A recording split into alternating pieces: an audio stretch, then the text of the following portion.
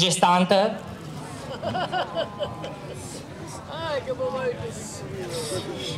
O să vedeți acum un animal educat. Un animal care are cei șapte ani de acasă. Un animal care se strunește foarte simplu. Uh, fiind gestantă are 707 kg iapa. Are o circunferință toracică de 230 de centimetri. Asta în zona unde se pune șaua. Fiind gestantă. Ăsta e motivul pentru care e așa de, de voluminoasă. Are o înălțime la grabă de 1,65. Iapă de mijloc, iapă frumoasă. Uh, perimetrul fluierului are 20 de centimetri. Este o iapă și de, de anduranță, de drum lung, ce știu cum să zic, o iapă rezistentă. Ăsta e modelul de cal românesc care era odată la noi în țară. Înălțimea, uh, înălțimea este 1,65 la greabă.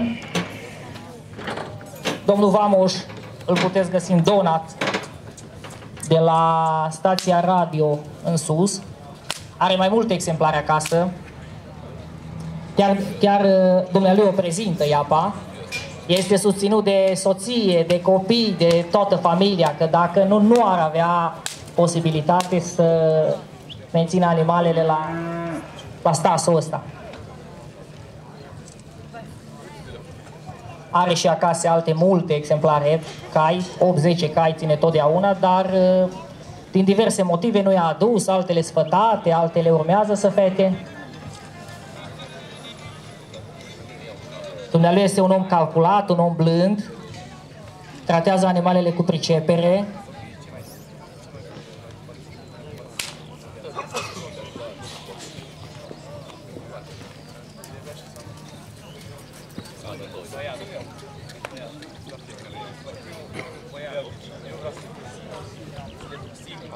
Iapa murgă, ca și culoare, care o vedeți aici, e la dumnealui de vreo 2 ani, 3 ani. Dar uh, pe măsură ce trec anii, e mai inteligentă, mai, mai frumoasă, mai... La corpul ei are de toate. Cap, urechi, gât, spate deosebit, piept, poziție la picioare, curată, iapă, fără defecțiuni estetice și fizice. Trebuie să-l aplaudăm pe domnul Vamoș pentru că e nevoie și de, de mult capital să, pot întreține, să poți întreține un cal la nivelul ăsta și de răbdare. Hrana unei iepe modelul ăsta care îl vedeți în jur la 20 de lei pe zi. Deci 150 de euro pe lună e numai mâncarea efectiv. Nu mai pui curățenia, țesălatul și toate alea. Un exemplar în genul ăsta nu suferă amânare. Azi îl curăț, mâine nu. Trebuie în fiecare zi același program.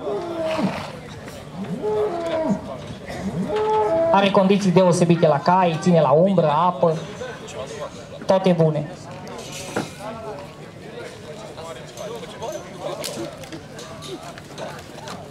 Rugăm uh, proprietarul să o ducă la stand, să mai vedem și alți crescători care se pot mândri cu ceea ce au adus aici.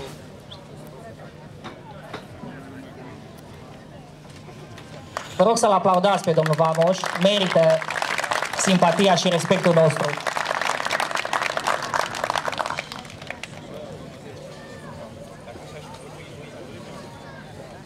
Acum urmează să vină în scenă un armăsar comtoa. Contează. Un armăsar comtoa